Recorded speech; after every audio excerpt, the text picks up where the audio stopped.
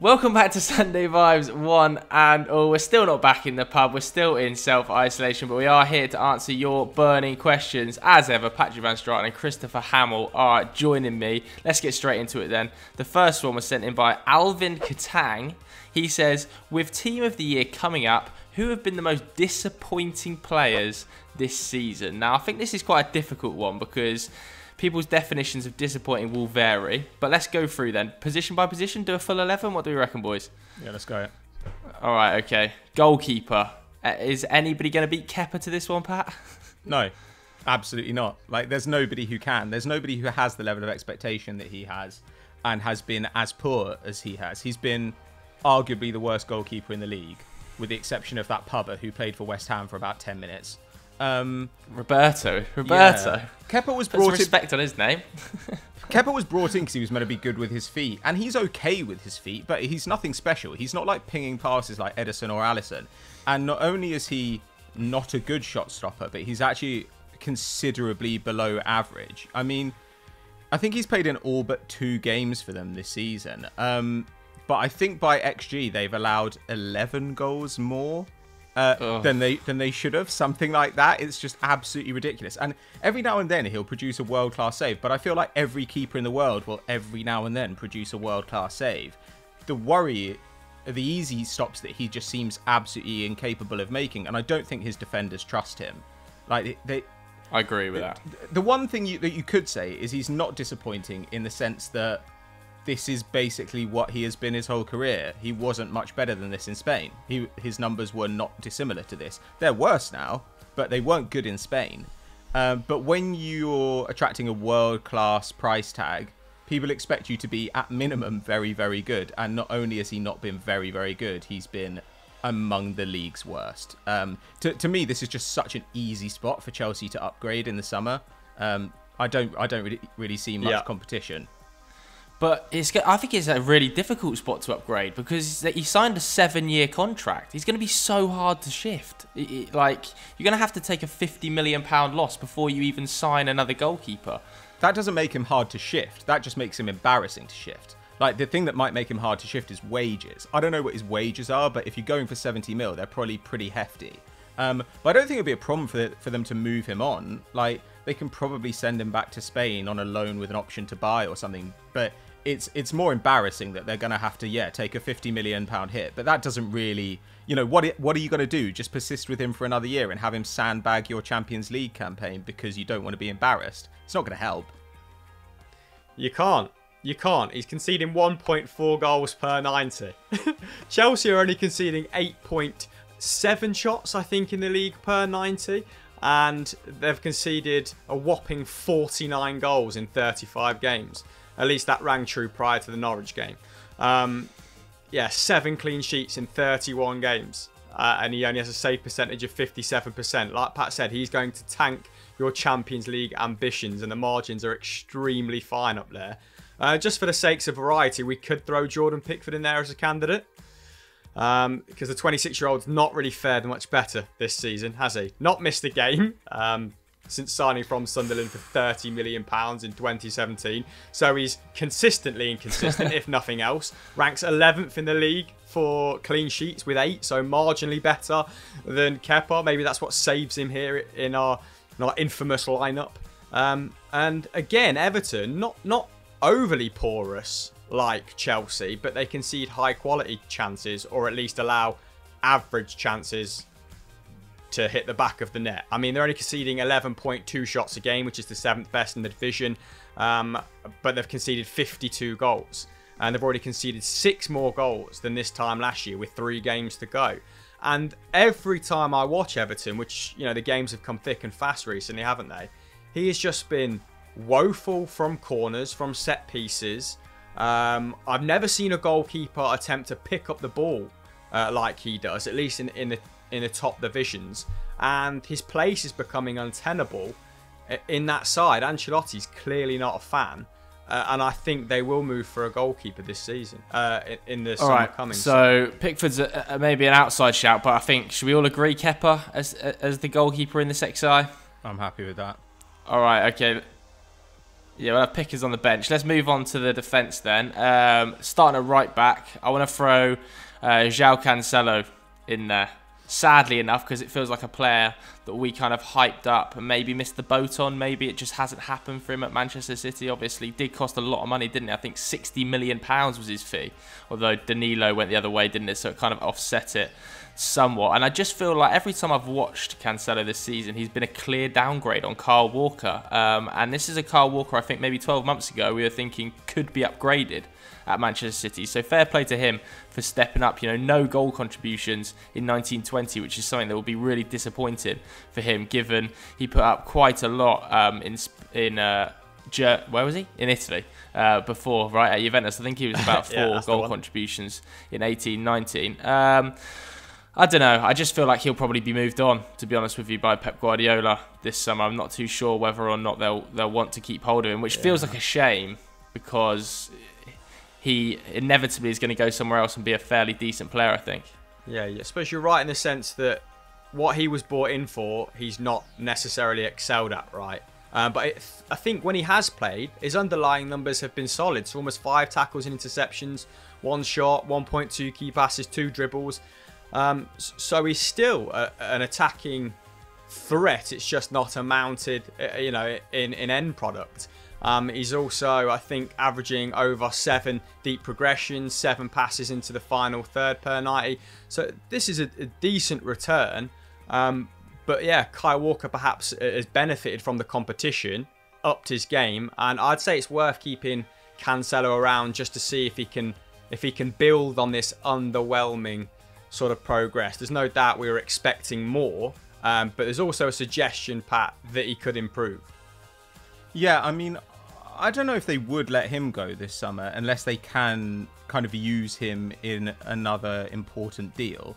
Because I agree with Chris. I think when he's been on the pitch, he's been good. And and actually, I think that City signed him on the understanding they were going to be fairly similar to last season this season. And I think that losing Fernandinho from the centre of midfield, which I'm sure we'll come on to later, mm. made them a lot more vulnerable than they expected. And as a result, they went for the solid, more conservative, more defensively minded uh, fullback in Kyle Walker. Kyle Walker's a lot more reliable in that regard. Whereas Cancelo, though he has good tackle and interception numbers, that's kind of because he's roaming forward and pressing.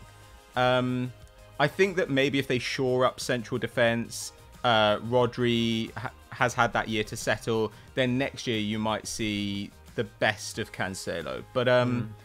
I don't know. To, to me, it's not his fault the price tag. And to be honest, when he's on the pitch, like we say, he he's he's been okay. Um, but I suppose. Yeah, I don't by... think he's been bad. He hasn't been bad, has he? He's just not lived up to the heights that maybe we set him. Like I think there's worse right backs in the league. You could maybe say Serge Aurier in this category. It, it has been disappointing, given that I think he's had a really bad season. But, but, yeah, much I just, lower level. We didn't ever hype Aurier, did we? Yeah. we? never hyped Aurier up. Yeah, yeah, it's just difficult though because like Cancelo, when he's on the field, does kind of look like the player we thought he was going to be.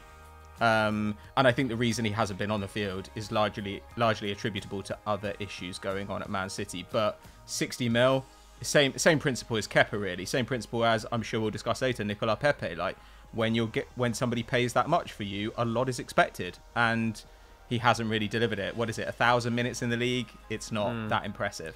Just to give some of those stats that I mentioned earlier a bit of context, because we have got his numbers from Juventus. I mean, he's averaging roughly the same amount of deep progressions and more passes into the final third. So he's actually deadlier to an extent. Obviously, it's, it's not panned out that way um, when he's playing for City. So hopefully, this this will you know s- soon start converting into into solid goal and assist numbers. But um, but yeah, I'd, I'd keep him around. Do you think Hector Bellerin or Ben Davies are worth talking about in terms of actual performance to expectation? Um, I think Hector Bellerin, you've got to put his injury record up there as well, haven't you? So I think he's been a little bit unlucky with that. Yeah, he's sat out about half two. I think he's got about 1100 mm. minutes now. And obviously, then when you come back from a cruciate injury, nobody really expects you to come back at, at yeah. full speed. The, the, weird thing I find though with with Bellerin is that every time he has a kind of mediocre performance, Arsenal fans will say, "Oh, he's lost a step." You know, like his athleticism is really down. Whereas actually, after a slow return, I think now his athleticism looks fine, and I think actually it's been um, you know, some positional mistakes and some passing errors that have been a bigger problem for him late lately. But I d- I don't really worry about him. I don't really think it's that disappointing a campaign because his numbers are pretty much what they were before. Like he's doing less creative work, but I think that's because uh, Arsenal are playing with a different system and they've played under three different managers and they haven't been very good. Um, so I don't, I don't know. I mean, he hasn't particularly disappointed me, I guess. Uh, and similarly, Ben Davis. I mean, Ben Davis has also been injured a lot, right? He's he's been out in and out of the side a lot. And again, I just think like Spurs have got worse across the board. But we do need a left back. Uh, what about Benjamin Mendy? I, I know another player that's been fairly blighted with injuries, but I feel like it's a position that um, Man City will probably upgrade this summer, especially with the chat with David Alaba coming in. And it's kind of a player that never hit the heights we thought he was going to hit after joining from Monaco, even though he kind of had six good months and then got injured. So maybe I'm being a bit harsh there, but I don't feel like Benjamin Mendy has. Maybe it's not just this season, but as a Manchester City player, has slightly disappointed given we're expected more. Yeah, I mean shades of Bellerin there, right? In that they Mm. didn't come back. He didn't come back from injury the same player, and it took him a while to to rediscover his form. And then he had sort of a series of minor setbacks, which which prevented him getting a good run out. And I think we are seeing that at the end of the season. He has been quite potent going forward, Mendy. Um, still making odd decisions at times. Still doesn't like a 50 million pound, you know, uh, fullback in, in in sort of his array of, of passing uh, on occasion. Uh, you know, minus that lovely sort of drilled ball he's got from the byline. Um, but but maybe Ben Davies, just because of, I suppose. Um, I mean, most of his numbers are down, I, I guess. Um, and Spurs, I think collectively, apart from maybe Chelsea, defensive as a defensive unit, have, have underwhelmed the most. I don't know if you guys agree with that. I think what I will say is I- think there's a more disappointing player that could play in the left back slot from Spurs. I think maybe we should put Jan Vertonghen in at left back to allow us more areas in centre backs to talk about disappointments because I think Jan Vertonghen's had a honking season.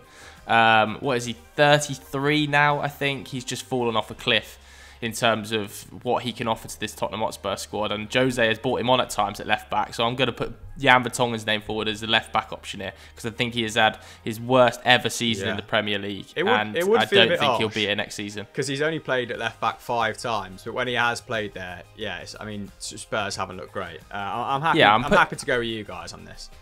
I'm putting him forward as a defender, but just because we've got a slot of may, maybe available in left back, I think he has he has the ability to fill that with his disappointment. He's just old as f- though. Like he's just so old.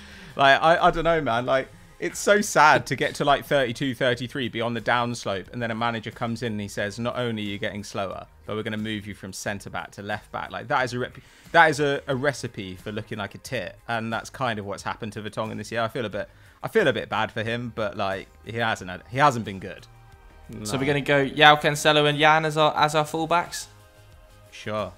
Yeah, I mean, Alright. okay, Vertonghen, enough. That that feels harsh, but uh, we'll roll Okay, with so it. who do you want to put a left back? Who do you want to put a left back over?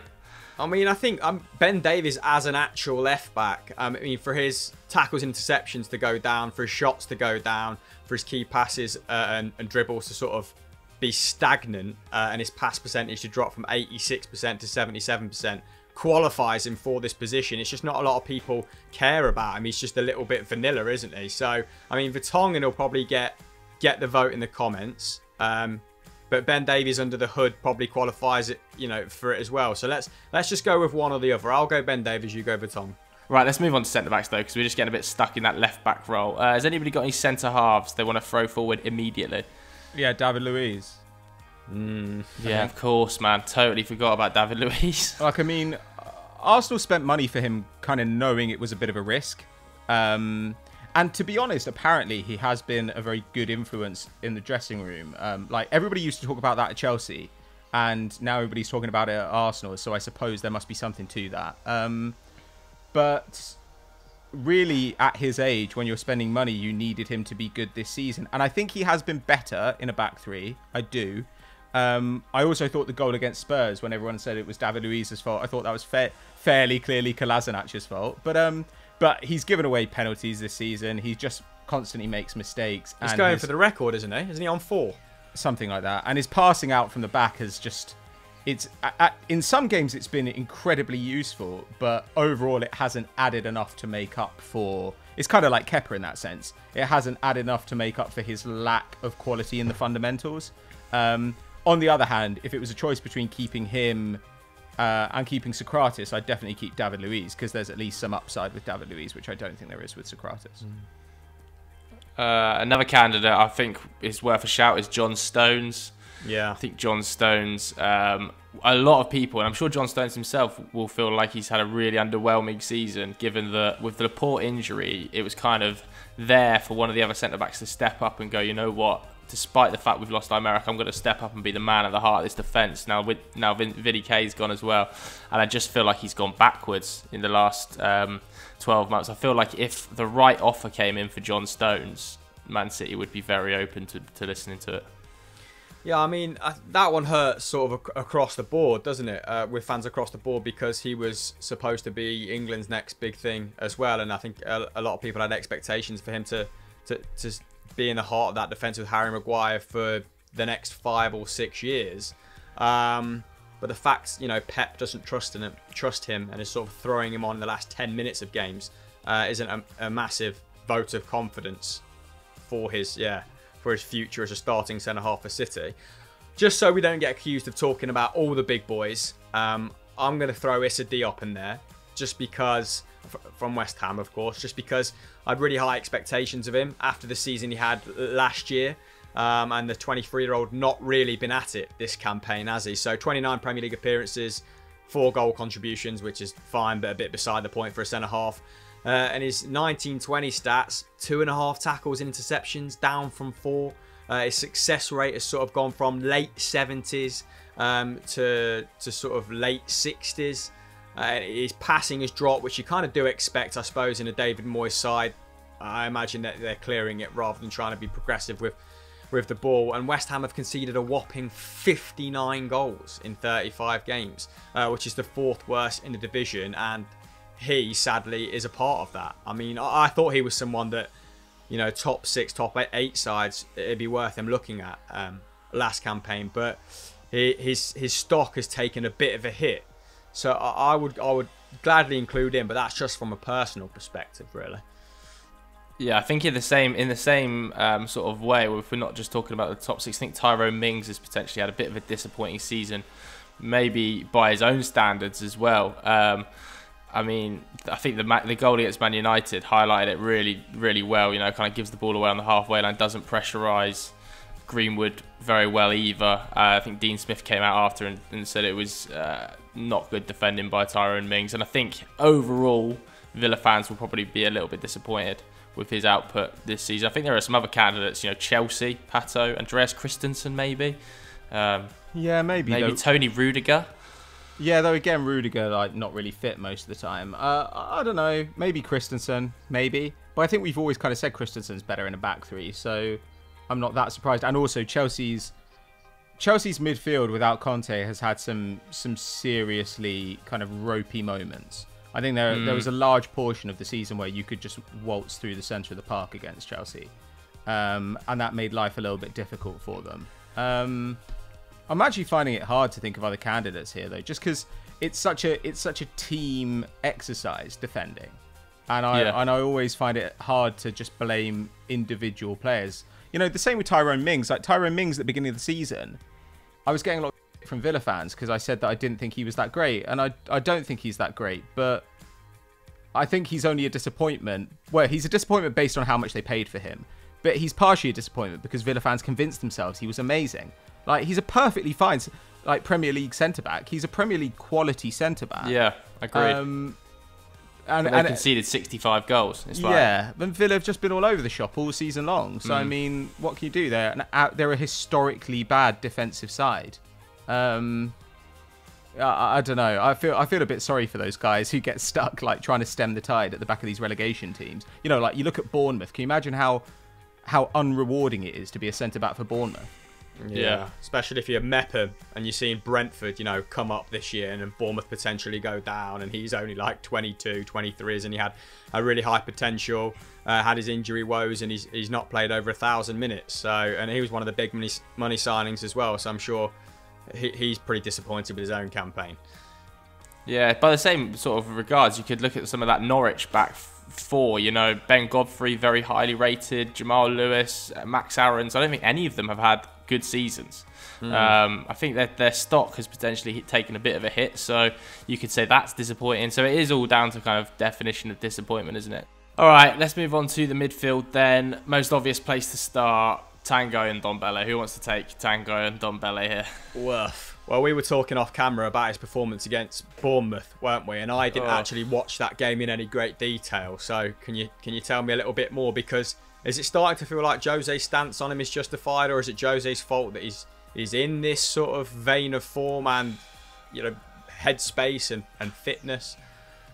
It just feels such a weird um, scenario, doesn't it, for us to be talking about how Tanguy Ndombele has been a disappointment. Given when we when he joined Tottenham, we said he'd be one of the signings of the season. Uh, he's still only 23 as well, and it kind of felt like watching him against Bournemouth, a player who.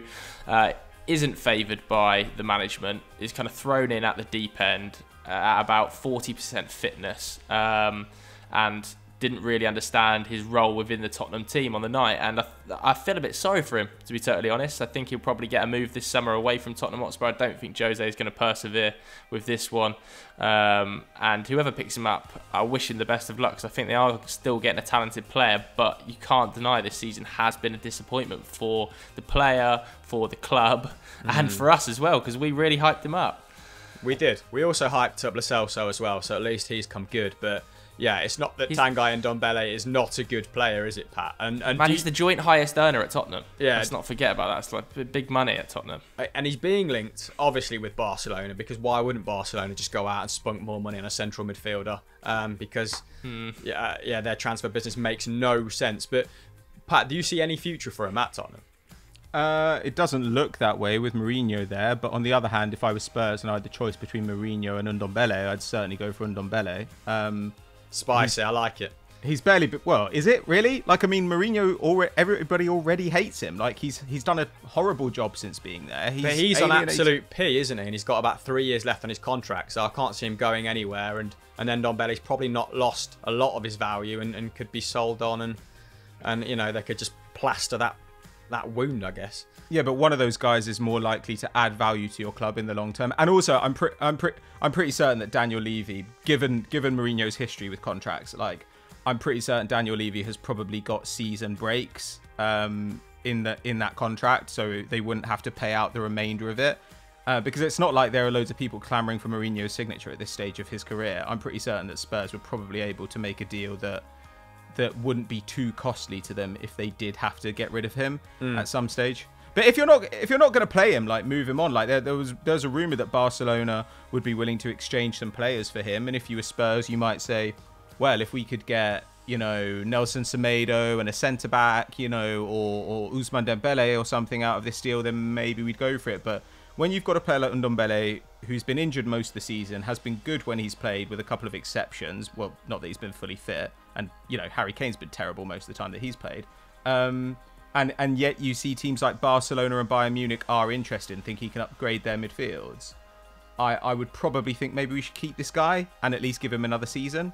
Um, if the relationship's broken down, then I guess you've got something's got to give, and at this stage, it's probably going to be Ndombele. But um, he was probably hoping Arsenal would batter Spurs at the weekend, so that Mourinho might get sacked sooner rather than later.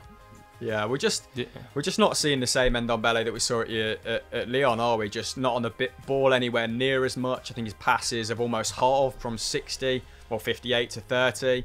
Uh, he's still a pretty useful dribbler. They're actually up from 3.4, but maybe because you know the harmony in the team isn't isn't on point, and he doesn't know where to go with the ball. Uh, so he's trying to do too much work himself. Uh, his key passes are down.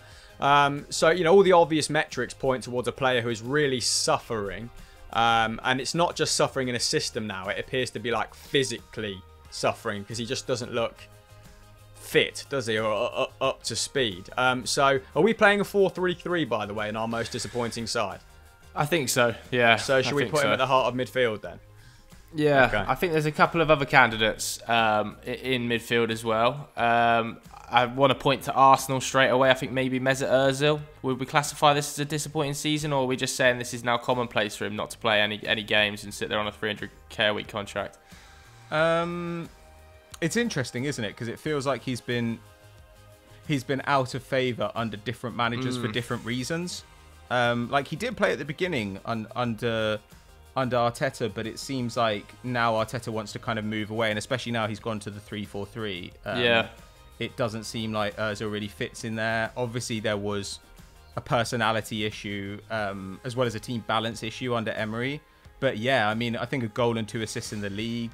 I mean, he still creates way more chances than anybody else in the Arsenal squad when he plays. Um, but it's certainly not been a good season, and you it's unusual for this sort of player to age this badly.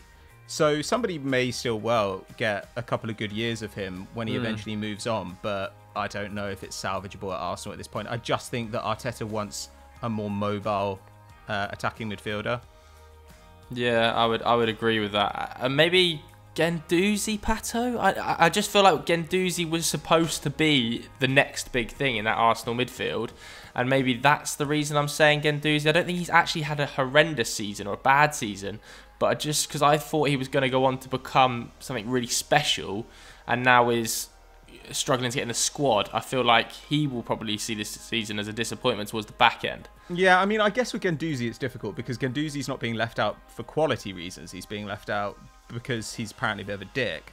But um, yeah, I don't know. Like his numbers are still are still very good actually, and also he's 21. Like he's 21. I think that because he's been there a couple of seasons, you get a lot of people saying, "Well, he should be taking games by the scruff of the neck now." Though actually, he did do that when we beat Villa with 10 men, and he did do that when we came from behind to draw with Spurs at home. But um. Yeah, I mean, I definitely think it will be a disappointing campaign for him, but I also think he's 21. Like, it doesn't Yeah. it doesn't bother me that much. Um, Yeah. Do we It put doesn't him in the side over someone put- like Jorginho as well? I'd put Rodri in over over most people. Rodri in over Jorginho? Mm, I I don't know. I think Jorginho's been hamstrung a little bit by playing in a system that doesn't really fit him. He's not particularly mobile. Um, Did you see the other day when Chelsea went to a 4-2-4 when they were chasing the game against I think it might have been Sheffield United when Hudson Odoi came on. And the look on the look on Jorginho's face as they went to a 4-2-4 like like he could survive with just one person next to him. He just looked he just looked bereft. yeah, if, if you've got like Peak N'Golo Kante next to him, then that might work. But Kante's not. Peak N'Golo Kante doesn't really exist anymore, probably. Um, And he's not as good as Kovacic. Kovacic has been probably maybe Chelsea's best player this season. And it hasn't helped as well that while Jorginho is still clearly a much better player than Billy Gilmour, um, Billy Gilmour's had some impressive performances, and as a result, Chelsea fans are like, we should be giving those minutes to Gilmour, and you know, it's he's kind of ended up becoming the guy who he's the fall guy for that particular desire to get a young player on the pitch. But but Rodri to me has been a clear downgrade on a 33 year old Fernandinho in the centre of the park. And But Fernandinho, even at 33, is arguably the best defensive midfielder in the league behind Fabinho but what what and Kante. I'd say ahead of Fabinho. But um, uh, I don't know. Yes, that's definite. Fernandinho was amazing last season, and City were better across the board.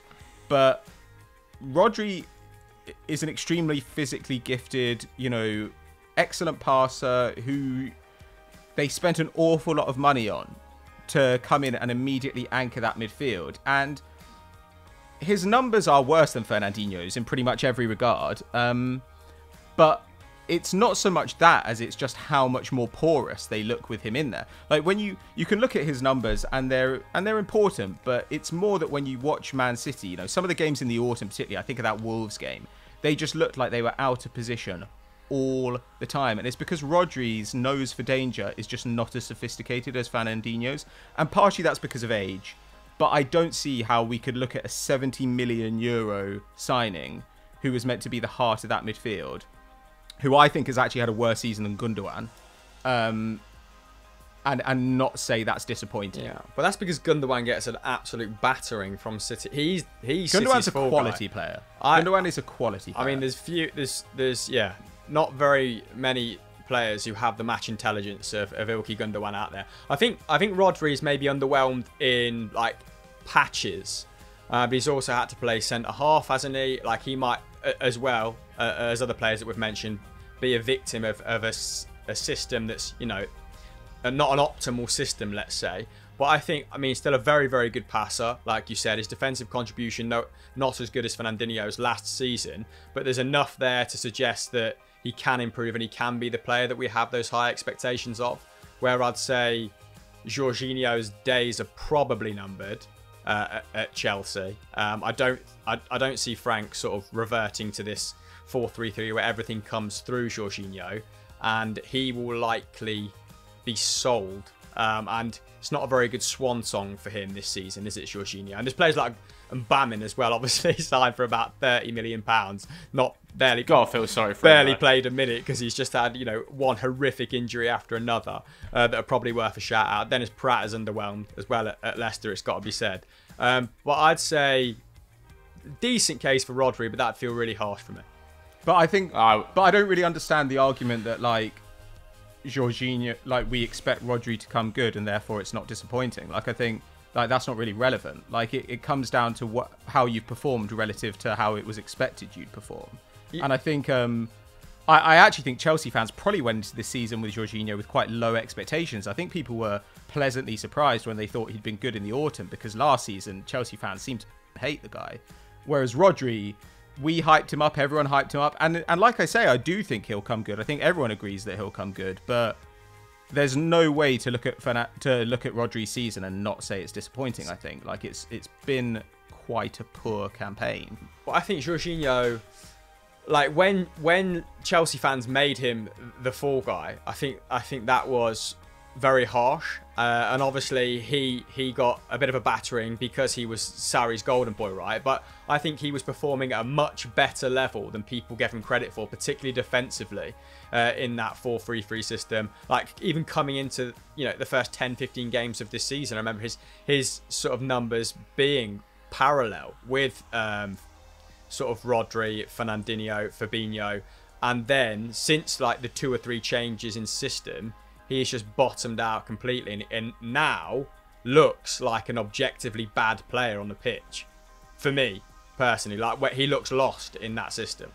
But but I don't think that necessarily relates to him being disappointing. Like like for instance, he still makes more defensive actions than than Rodri does. Like I mean, I I see what you mean, as in like we felt he was underrated last season. We expected more of him, and therefore he's had another bad season. But I don't know. I, I guess I just think that like this was a guy who got pelters last year. He's getting them again this year. Actually, he's probably getting. He's probably been less badly treated this year than he was last year. Whereas Rodri last year was like the toast of Europe, and this year he's like, oh yeah, that guy who also plays in midfield for Man City and has not been very good. Um, but I don't know. I guess I just wouldn't. I, I'm not a fan of this particular kind of player. Like I think Ruben Neves, Ruben Neves has had a disappointing season, um, very disappointing. His numbers are down in pretty much every regard. His defensive numbers are way down. Um, his goal and assist numbers, I mean, partially because he always shoots from outside the box. Like those are going to be very variable, but he's not had a good season. Like, and I think actually, I think Wolves have been good overall, but um, but Jota had a disappointing first half of the campaign, and Neves, he's one of those guys that because people like him as a player, they don't want to say he's had a disappointing season.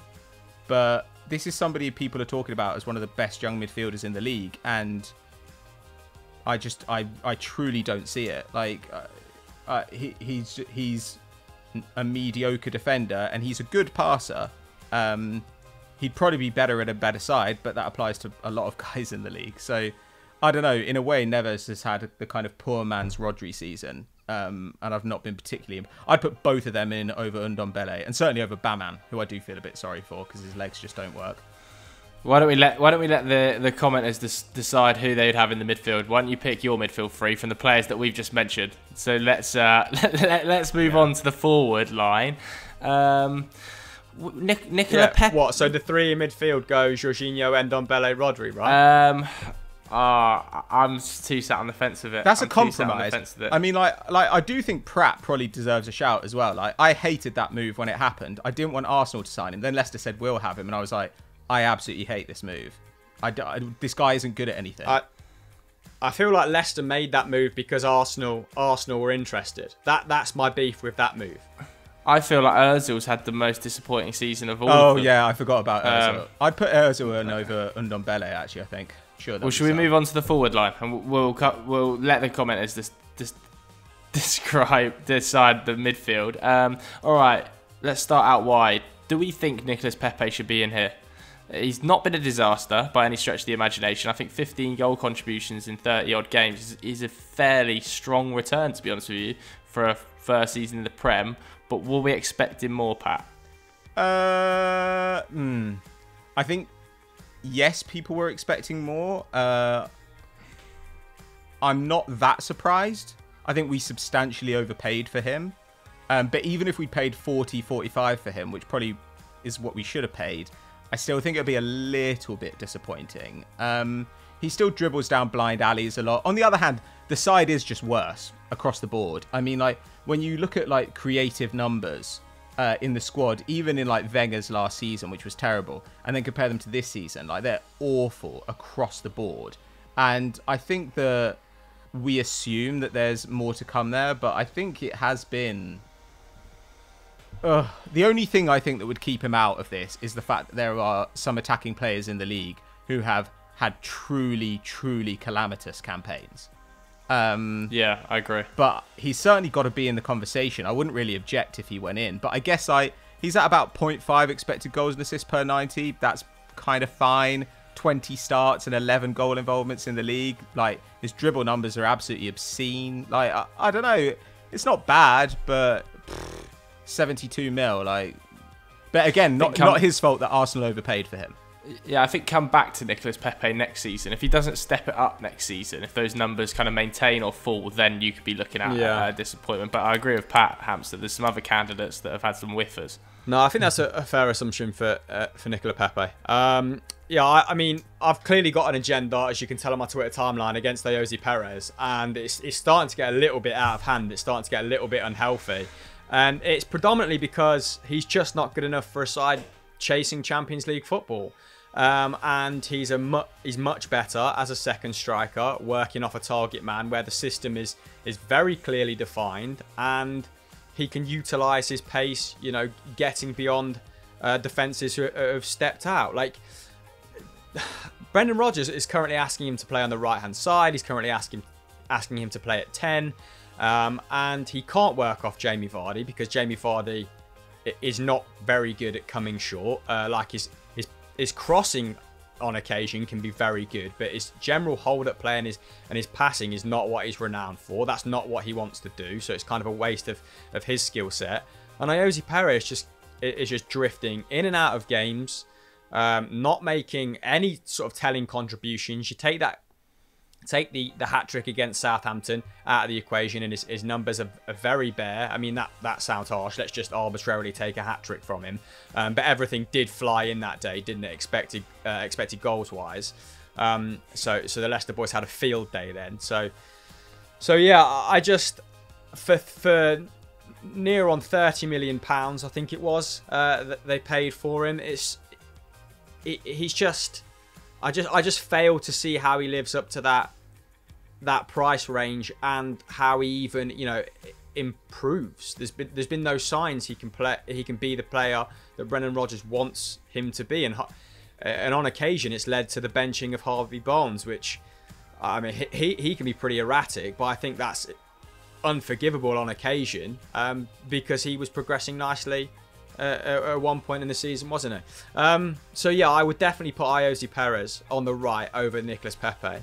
But Um, you you liked this move last summer, and looking and looking at it now, like no, I, I think you d- you definitely defended this move last summer, and like he's, I, th- I don't think it's been that bad. He's got the same number of goal involvements as Pepe, and he cost less than half as much. Like I think I think this is a pure Rodgers like because like Perez has he he paid too much for a mediocre player. Yeah, like Perez is fine at a mid-table club, um, and we perhaps didn't expect Leicester to, to be going to be gunning for Champions League football.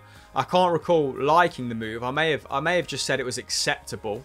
Um, Leicester were struggling with their recruitment late on in the in the window, and if Ayoze if it was Ayoze Perez or nothing, um, yeah, take Ayoze Perez uh, because that forward line in the absence of Jamie Vardy is barely even Europa League, is it?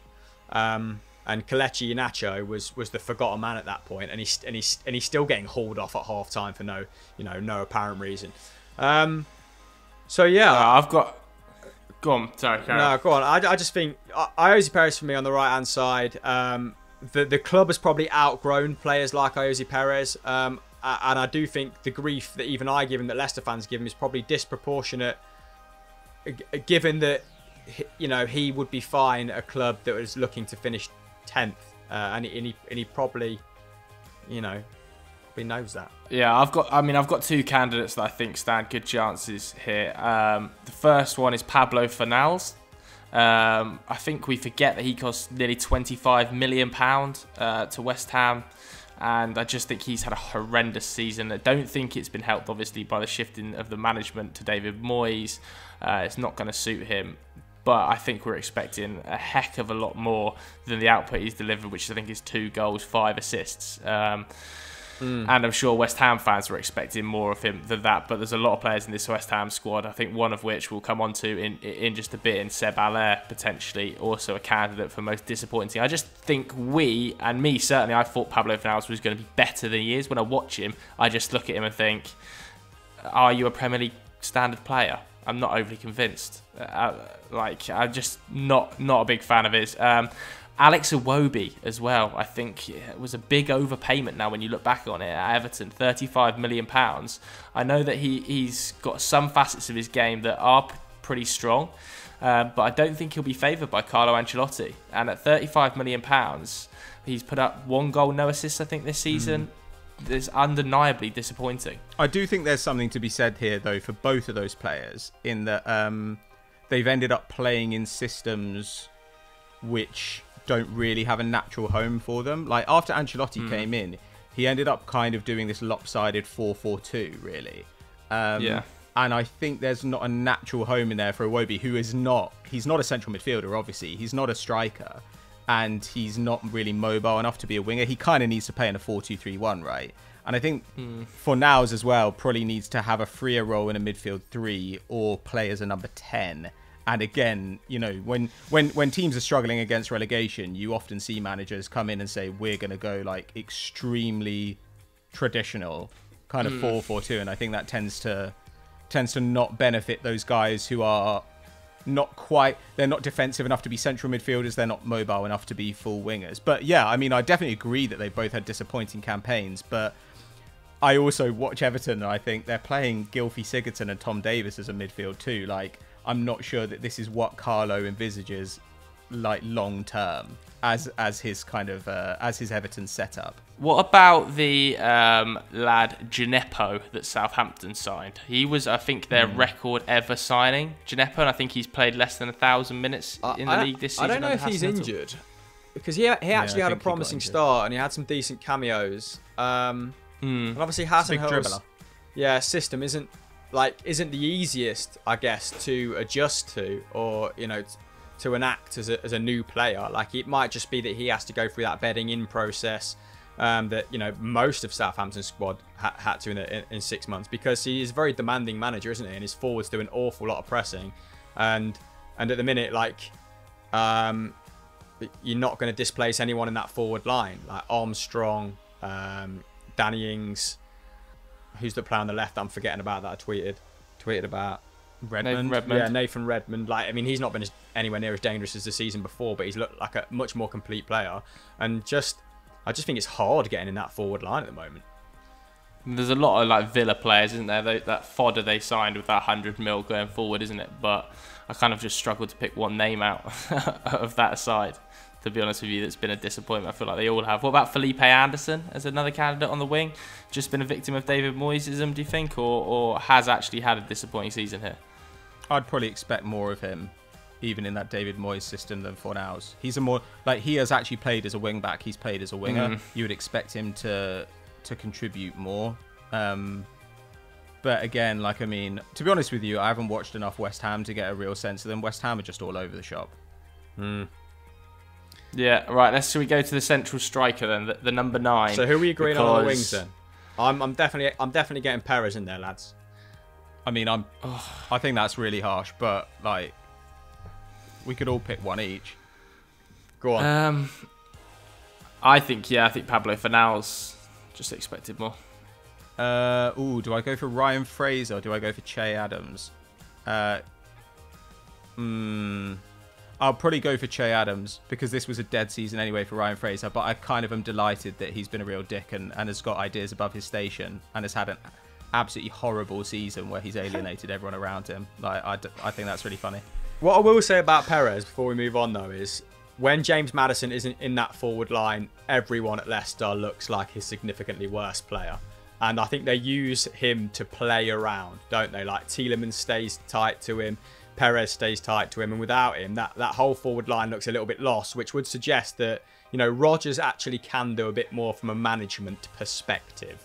Um, but yeah, I'm, I'm, I'm still going to go for Perez. So we've got Perez, I'm writing it all down, Perez and Adams, and, and Go with Perez and Adams, and we'll leave Pablo Fornals then. No, Go Perez with and- those two as Perez weapon. and Fraser. Put Fraser in. Perez and Fraser. Okay. yeah, Okay, why not? I've changed Fraser. my mind. Uh, right, we need a point man then, and um, I think there's two outstanding candidates here between Joelinton and Seb Haller for me. Seb Haller did at least have one stretch of the season where he was good. Uh, Joelinton. Joe Linton, 40 mil. But I also look at Seb Haller- Seb Haller's um, pro- kind of um, production line. Like I look at the guys he has supplying the ball to him, and I think, yeah, Joelinton is basically like running around with nobody to help him out. Like Alan Saint-Maximin has looked good in that team because he kind of thrives in that sort of side where they just give him the ball and hope he'll beat a bunch of guys. But their numbers are actually pretty damn similar. Like I mean, I'm not gonna I'm not gonna really defend Joelinton. Well, I suppose I am in the sense that I think that Newcastle are absolutely atrocious. Um, I'm amazed they've spent the whole season clear of the relegation zone. Uh, they've been dreadful all season. Go on, long. Brucey. And um, yeah, I think I, I'm not sure anyone's really been great there, but he's got But fewer Joe goals. Linton, Joelinton at 40 mil, man. Yeah, it's Like, a lot. It's a lot. But it, on the plus side, at least they'll be able to get money back for him. Like he's 23. Um, like they'll get His another stock is season. taking such a big hit, though, man. I think it depends who would come in though. Like if they were to let Bruce go at some point and get a different manager in, I could see Joelinton being quite a useful player for them. Um, same with Seb Haller, to be honest. Like I think all these strikers, like I can see them rebounding.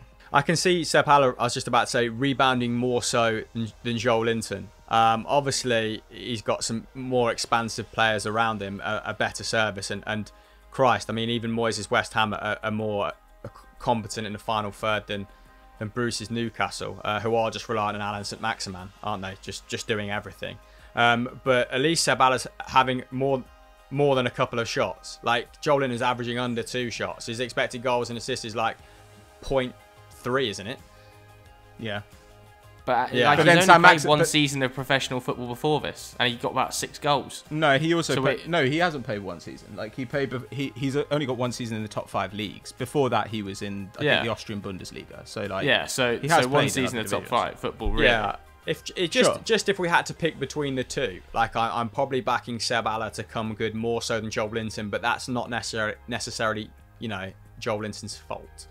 Well, also Joelinton now is not playing as a central striker, is he? Like it looks like he's playing a slightly different position, and they've looked better since they've got Dwight Gayle in the side, um, who who has always been an underrated finisher, I think. But, Yeah. Um, but I don't know, like. We, we say, oh, Joelinton's had an appalling season and Sam Maximin's had a great season, but Joelinton and Sam Maximin, Joel Linton's at like 0.3 expected goals and assists per 90. Sam Maximin's at 0.38. Like, Almiron is between the two of them at 0.33, and those are the top three in the Newcastle squad. Like, it is rank. Um, I've I've got one more suggestion. go on. What about Moise Kean? Because Is it his like, fault? Just think that's harsh, yeah. I His numbers have I been mean- fine. I mean, and DCL has been amazing, and so has Richarlison. They both, you know, like, do you drop either one of those guys right now? And I'm not sure that's about Ken. I think that's about those I, two. I don't, but equally, under three different managers, he's not had a sniff now. Well, under two managers. Let's not go overboard. Yeah, maybe I'm being harsh with Big Dunk, but it obviously was bought on for a minute, wasn't it? And then taken off again. But Yeah, but that was uh, just surely we, terrible ex- we, ex- but That we was one of- expected way more than, than this for 28 million euros. Yeah, but again, I think they bought him for the future, didn't they? Like, he's so young. Yeah, I mean, and you add Yeah. you add up all those sort of uh, minutes, you know, here and there, and they actually amount to, to pretty decent per ninety numbers. And that's not to give him an easy way out, but but again, that I think that does show he's got m- more to give. You know, three shots, almost a key pass, over two and a half dribbles.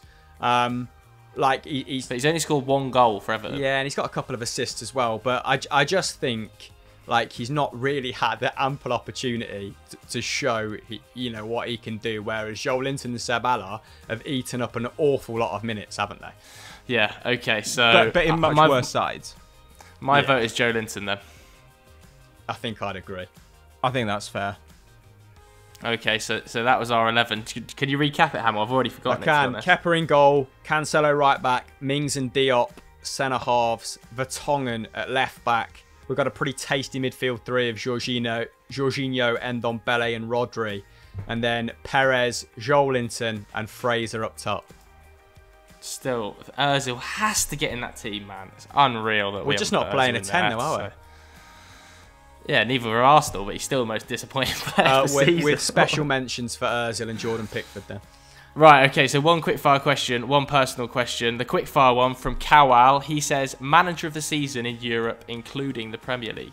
Uh, I think if it weren't for if it weren't for Liverpool having an historic season, I, I think it would have to be Chris Wilder. So I'm going to say Chris Wilder. I think he deserves it. Like that squad, we were totally right last summer when we said it was like a championship quality squad. It is a championship quality squad. There's the odd player who's decent in it, but it's a championship quality squad. Yeah. And they're going to finish comfortably in the top half, and they deserve it. Like, I mean, I, I, it, it's remarkable what he's done. I, I'm, I'm so impressed by it. I'm delighted for him. Yeah, I probably would say Chris Wilder. Um, I'm trying to think of some other other shouts. Maybe Zinedine Zidane. You know, He's I think an amazing Zinedine season. Zidane's had one of his best seasons uh, in management, despite the fact he'd won three uh, before that. What about Gasperini? Maybe Yeah. at Atalanta. Gasperini, Conte as well. I mean, like, Atalanta Great are finishing I mean- the season really, really strongly, uh, and of course, I I think have a very good chance against PSG, despite you know people thinking that Mbappe and Neymar are going to decimate them. Um, I don't think that's going to happen by any means. But and obviously Jurgen Klopp. There's no doubt about Jurgen Klopp being in there. Um, I guess it would probably be Jurgen Klopp, but we're just kind of like bored about talking about how good Liverpool have been, right? Um, this season. Uh, right, let's do one personal question then. Uh, who would win in a fight, Jamie Oliver or Peter Andre? That's the most ridiculous question from Bay of the Week 17. Oh Christ! Um, Jamie Oliver would, would definitely beat Peter With Andre a- to a with- pulp. with a Yeah, because he could use instruments, stick. like he could use knives and forks What- and stuff. is that What's the rule? Peter Is that Andre you get to bring like whatever tools you can with you from your respective profession? So like Andre gets to bring Yeah, like a Peter surfboard, Andre's bringing wax. or, or you know, hit him with like Yeah. a Casio Or Jordan. keyboard. and knock his teeth out. I mean, is Peter Andre still hench? he is quite hench actually. Because Jamie Oliver is super not. Yeah, he's quite Yeah. tubsy. bit Oliver, dough, bit doughy, isn't Yeah, he? He is a bit doughy. I, I Um, think Jamie Oliver is, is soft as. I, re- I reckon Peter Andre fills him in. Peter Andre rips out one of his fake abdominal muscles and beats Jamie Oliver to death with and it. And then uses his body Oh as a surfboard Christ. in an updated video of Mysterious Girl. What is going on? Right, I think we should end the show there, to be honest with you, because it's descended into ridiculousness. Um, should we plug the podcast channel? Because there's loads of subscribers going on over there, isn't there, Patter? Yeah, head over to the Football Daily Podcast and check out the podcast channel. Uh, we've obviously got some updates. There's a new podcast with me and Doogie that will be out uh, right now, which is very exciting times, where we talked about some interesting offcuts from the bigger sides around Europe and where they could potentially go this summer, including players to Atletico Madrid and Arsenal. Um, but yeah, subscribe to that and make sure you subscribe to it on whichever podcast app you use as well. We really appreciate it. There we go. And if it's plug hamster, No, that's it. My phone's about to die. Goodbye. all right. See you later. Bye bye bye bye.